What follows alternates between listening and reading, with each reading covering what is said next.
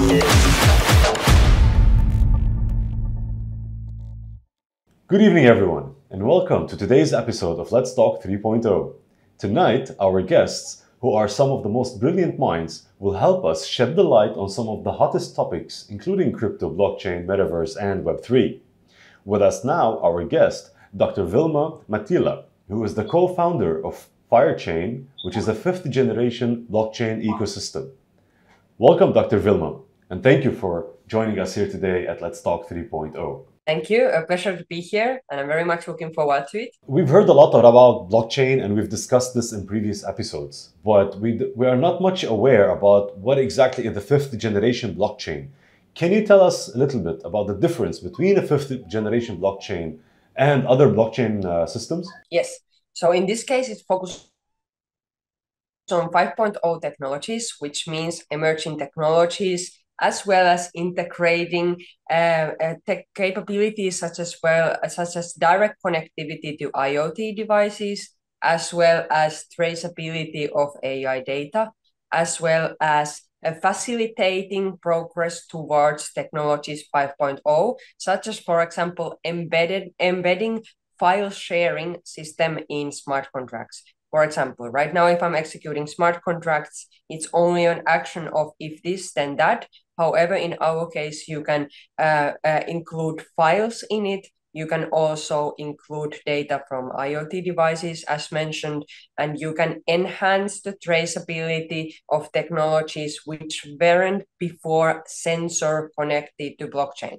So it's sensor data connected to blockchain. 5, 5.0 in this case obviously means all the flows of emerging technologies such as IoT, AI, and and uh, big data. Uh, so we basically do data scraping and formulate uh, outcomes which we store on chain, and individuals are themselves capable of uh, writing scripts which expands current use case of smart contracts. So for example, before I could send you money, I could send you NFTs, I could send you different digital assets. Now I can also send you uh, videos through smart contracts, that send you more heavy files, send you files directly peer-to-peer. You mentioned on your LinkedIn how to make technologies more sustainable. Can you please tell us uh, what exactly do you mean by more sustainable from a technological perspective? Yes obviously technology always has the problem of carbon footprint or challenges of not recognizing how much energy, electricity, uh, or overall natural source resources we are using towards it. So, for example, in our case, instead of proof of work, which is based on how much electricity you use, and proof of stake, which is based on how much money you have, the more money you will make. In our case, we track enterprises and validators and clients in this case based on how sustainable they are. Let's say, for example, we have now ranking of 100 companies and let's say Coca-Cola is moving towards uh, uh, hydropower and Coca-Cola will be ranking one of the highest in the sustainability if they integrate sustainable of electricity. So in case of Ethereum, if you had the most Ethereum, you your stake uh, would be obviously higher and your rewards will be higher. In our case, if you are one of the validator enterprises and you rank high in sustainability, we pay for you. Therefore, we pay enterprises for taking sustainable action, and the enterprises are the validators of the chain. So, for example, right now, some of the validators are Huawei, Google Cloud, Booking.com at this current moment. Why?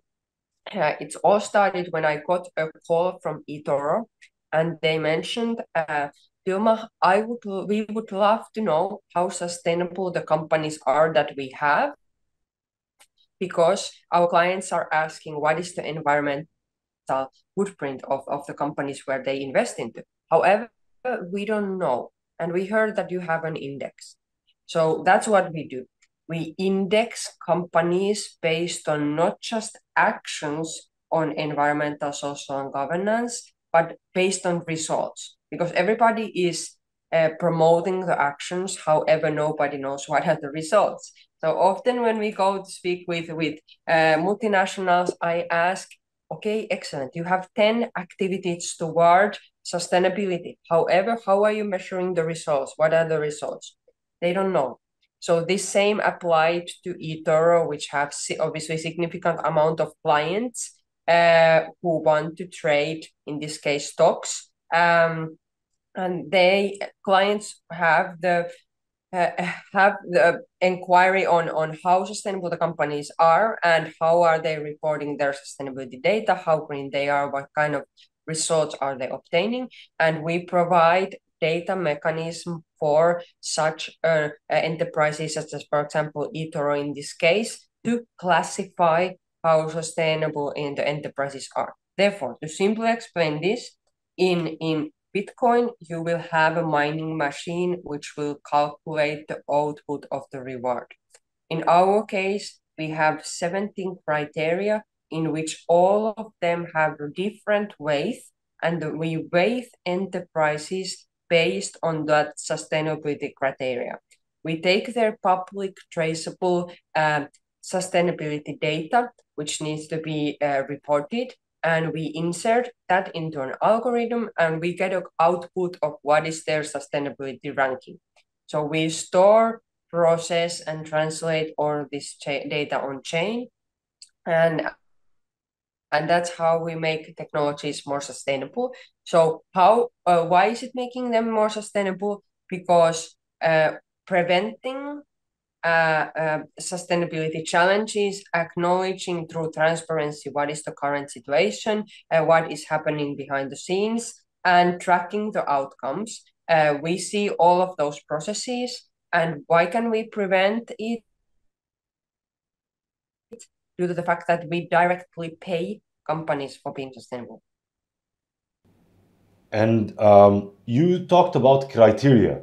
So who set those criteria for for you to be able to evaluate that this is now sustainable? Is it something you created or is it something worldwide known as as benchmark? Excellent. Thank you for asking the question because by no means can we decide what is sustainable and what is not. Exactly. So it's UN uh, uh, 17 SDG goals and under those goals there is 650 different criteria which were used to develop those goals. So we have data of the 650 parameters that we track and we through live API track the situation of enterprises. Uh, for example, if the mm, if there is contamination in the air, it will affect in their ranking. So uh, right now, uh, we are partner uh, with World Economic Forum. If you go to World Economic Forum slash fire, you will see there, uh, see there our company. How, uh, why?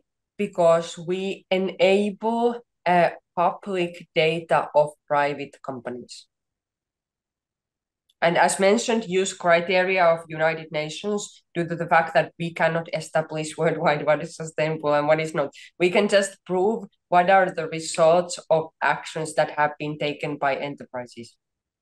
And so it's data-driven approach on calculating if your actions or results are matching or not. And this is how it proves that you were following certain criteria by being different in terms of results, right? Yes.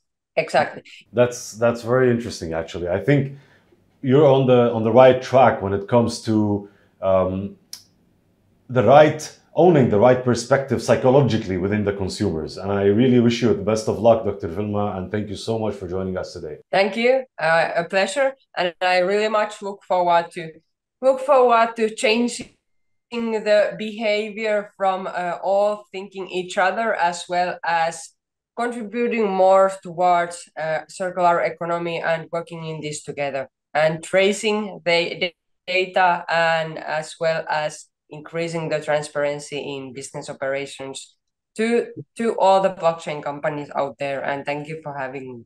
Thank you so much for your time. Appreciate it